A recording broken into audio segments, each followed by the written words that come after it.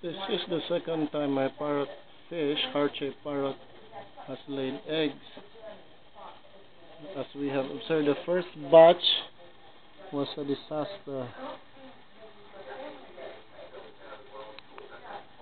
It's not clear with my camera. It's actually there. Okay. They're actually protecting it from the barbs. Just don't